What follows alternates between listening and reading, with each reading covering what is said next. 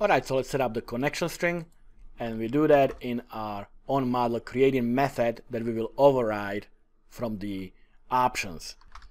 So let's create protected and then override and we are overriding a method that doesn't return anything and it's called on configuring. So this is the method where we will set up the connection string.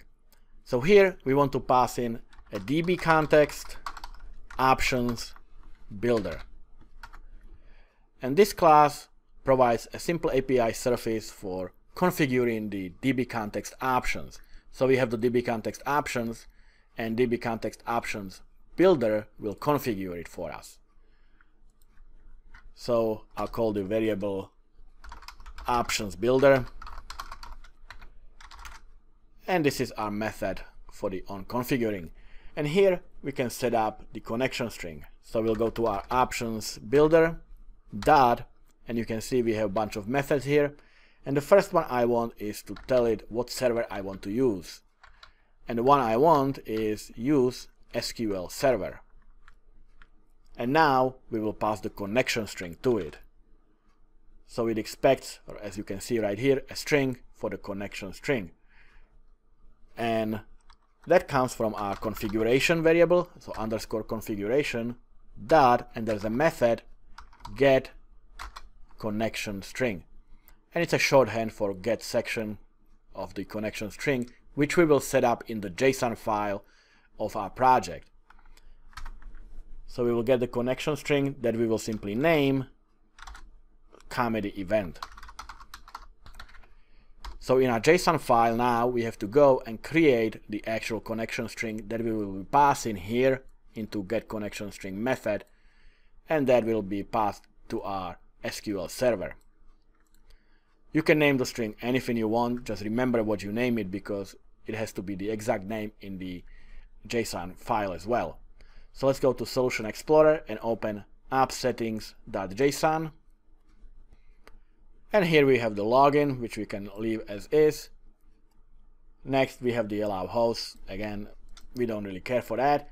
But next, we're going to set up the connection string. So type connection string, but let's type connection strings because you can have multiple strings because you can use multiple databases on multiple servers. So the practice is to name it with the plural connection strings. And here we will set up the string itself. So the one we want is comedy event.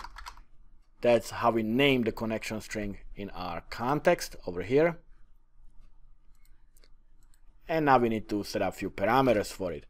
So the first one is going to be data source. So where is the data coming from? And that's our database. And we will be working with local DB. So we will type local DB.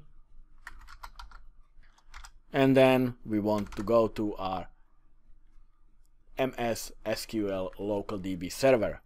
So it's going to be Microsoft SQL local DB server. And we can add few parameters. First of all, we need to tell it what database it's going to be using. So that's going to be our initial catalog. And this is the name of the database that you want. So how you name it is important because that's how the database will be named when the first migration runs from the entity framework. And I'll just name it API comedy for example. So that's the name of my database. You can name it anything you want. Now let's set up security. So it's gonna be integrated security. And we can simply set it to true and now we can set up the timeout for how long we will be trying to connect so let me move this on a new line so you can see it and it's going to be simply connect timeout and we can set it for 30 for example. So this is our connection string. We name the connection string comedy event. Our database is called API comedy and we have few parameters with the security and timeout as well. Alright, so this is our string except if you notice here I misspelled the word initial. So that would actually cause an error when we try to create a database. So let me fix the spelling. So now it's initial catalog and the name of the database API comedy. So now we can go back to event context and we have one more method that we need to create in order to create our database and that is to seed the database with some data and we'll do that with the onModel creating method next.